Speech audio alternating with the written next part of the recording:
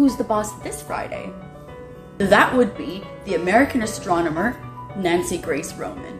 She made very important contributions to the field of stellar astrophysics. She's also known as the mother of the Hubble. She pioneered NASA's entire Space Telescope program.